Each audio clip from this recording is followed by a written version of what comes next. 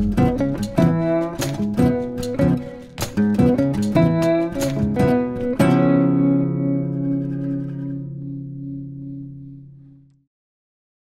everybody, welcome back to a brand new episode of New Arrivals. My name is Koen from the Fellowship of Acoustics and on New Arrivals we are going to show you some of the nicest new arrivals that we just received in our store.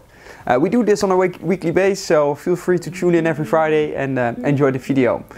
This week is, uh, is especially for a vintage lover, a great video because we got some very nice vintage guitars and uh, the ones that we have laying here on the ground are not all of them, we got many more. So uh, yeah, keep tuned on the website and let's not wait any longer and start off with guitars. All right, so the first one here is this beautiful 64 Murphy aged SG and what Gibson did for us is they made it in beautiful faded pelham blue. The aging is superb as well as the historic specs. So if you're looking for a guitar that feels vintage, looks vintage, but you don't have want to take care of a vintage instrument because they can be, I wouldn't say weak, but a bit unreliable on stage every once in a while, then this one is your pick. It's an absolute beauty.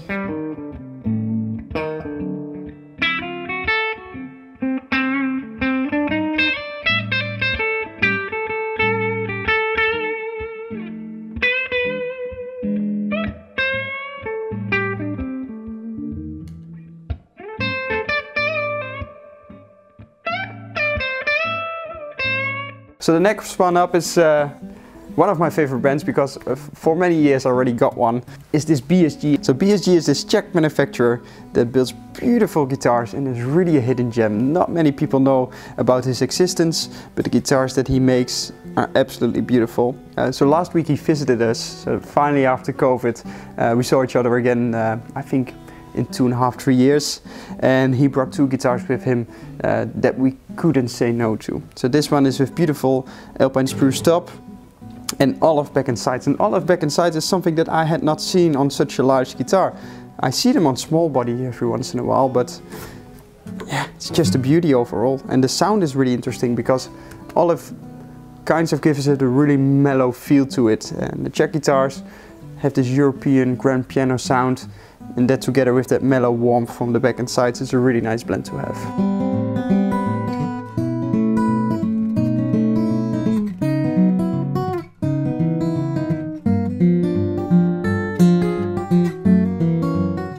Some of the nice details here is that the olive is not only taken back here in the rosette, but also here on the inlays on the fretboard. He's been working super precise on these guitars.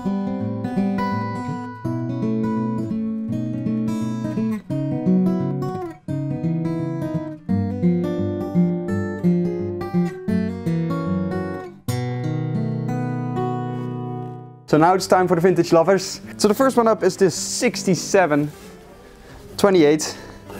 Pretty beaten up, but uh, still in very good shape. Uh, plays incredible. Um, has some saddle left, so there's some room for adjustment. Beautiful Brazilian rosewood back and sides, and especially this set is really nice. Uh, we also have a 0028. I think we shared some pictures of that one already a couple of weeks back on our Instagram. That will be coming online as well. And that one has such a spectacular uh, Brazilian rosewood back and sides set as well. Uh, so make sure to check out that one if this dreadnought is a little bit too big for you.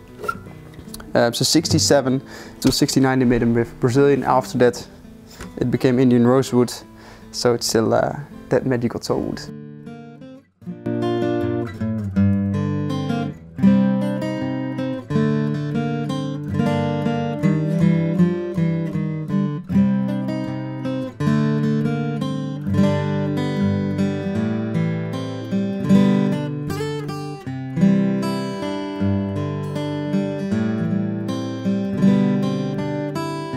So she already had a neck reset at one point in time and I think she needs one in about five to 10 years.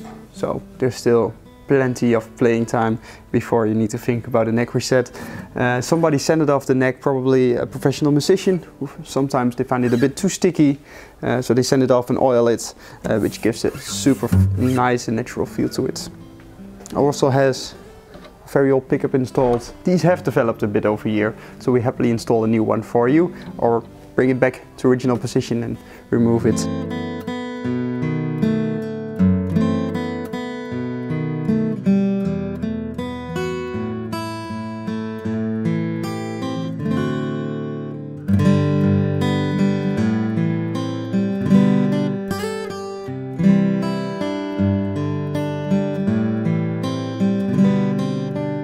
So the next one up is also from 67, but it's something completely else.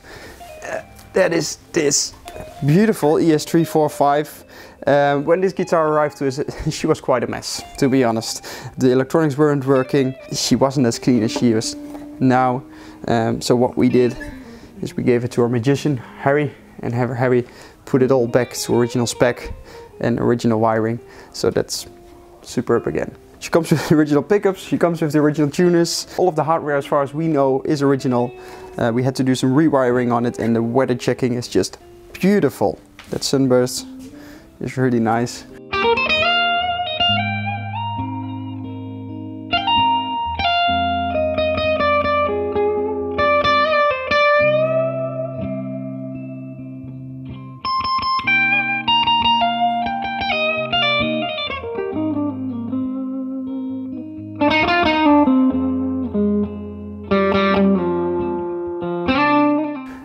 I know you cannot smell it through the phone, mobile, laptop, television, however you're watching this, but the smell is great too.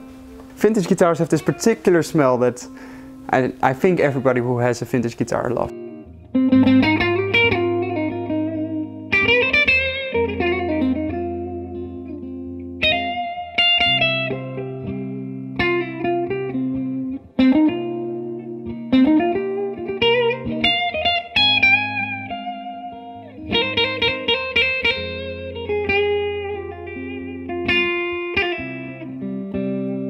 So and last but not least, we did a really cool guitar safari to London last week. Uh, we met a lot of nice friends from the industry and like with BSG, I was really happy to go out again and see some guitars, see some manufacturers. We went to Alister Atkin guitars as well uh, and also did some trades and this D18S was one of them. So it's a 1971 D18S and the biggest difference between the D18S and the standard D18 is the slope shoulder and the 12 fret. And what that does is it places the neck and the bridge and everything way back. Gives it a tonally completely different, completely different tonal sound.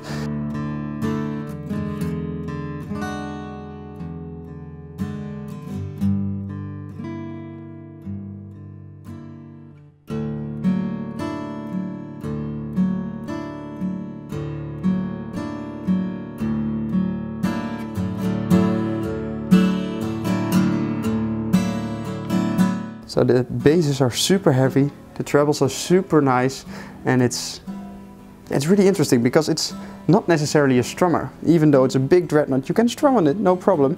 But especially when you finger pick it, the basses go so deep and the trebles uh, lay around on top of it. Really nice. It's a really interesting sound.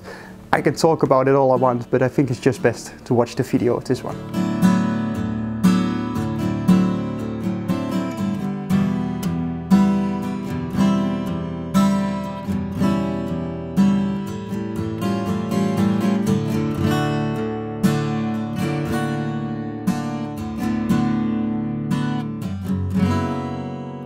So that was it for this week. I really hope you enjoyed the video. I really hope you enjoyed the guitars. Um, if you've ever questions on um, guitars like this, or if you have a vintage collection that you want to sell, feel free to reach out to us. Um, we happily take some more in. We have plenty of space, as you can see. Always space for guitars. Thanks again for watching. I hope to see you in the next episode. Bye bye. Cheers. Hoi.